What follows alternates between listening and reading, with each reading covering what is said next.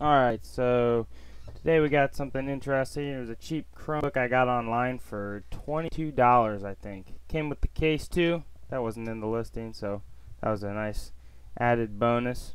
Uh, a, the brand is Hisense, which I think is a cheap Chinese TV manufacturer. Anyways, it's 11 inches, but the problem was uh, the screen was broken, so that has to be fixed.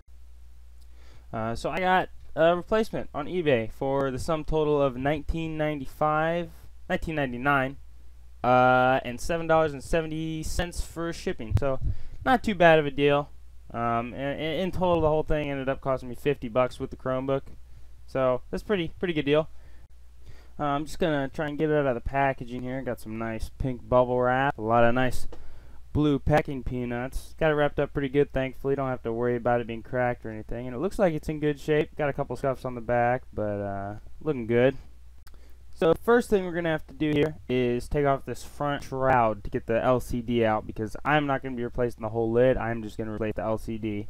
Uh, so the first and hardest step is getting that shroud off. So you got to get your fingernails under there and pry it up. And don't use a screwdriver like I just tried to do there because I almost scratched my screen. I, I did scratch that shroud.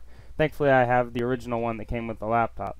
So uh, that once you get it unclipped, it comes off pretty easy. Now there's just four screws you got to do here. Not these four at the bottom, uh, but these four on the sides here. They're, they should be black.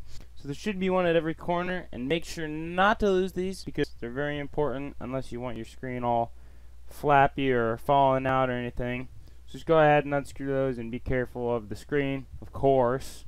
Um, yeah, so just something interesting I wanted to show you here. The new lid that I got actually has different hardware in the top than the old one. So it's got the webcam board is just a tiny bit different, and the Wi-Fi antennas are green on the new one and black on the old one. So that was just kind of, kind of weird.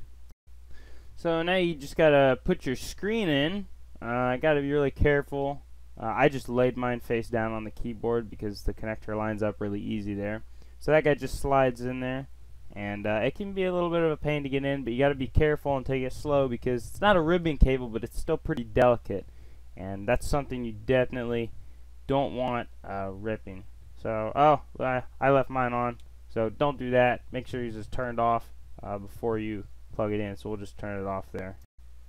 So we're almost done. We just need to screw the screen back in with those screws that we saved earlier. Uh, just those four black ones around the corners. And so at this point, there's only one thing left to do. You gotta snap the front shroud on. So that's kind of a pain to put on, but not as much as it was to take off. So once you get that snapped in, there's two small screws near the bottom that you can screw in there. Um, and then over top of those, there's just two real small uh, rubber bumpers or screw covers that you can put on there if you have them, if you save them.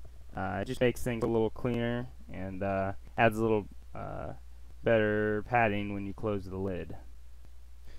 So uh, now that everything's put back together, one thing left to do, see if it works. So uh, hopefully I didn't get scammed buying a broken screen. Ah, there we go. Works just great. Uh, boots right into my login screen just like it's supposed to. So if you have any questions about it, just leave a comment and I'll try and help you out. And uh, remember to like, comment, subscribe. Thanks for uh, watching.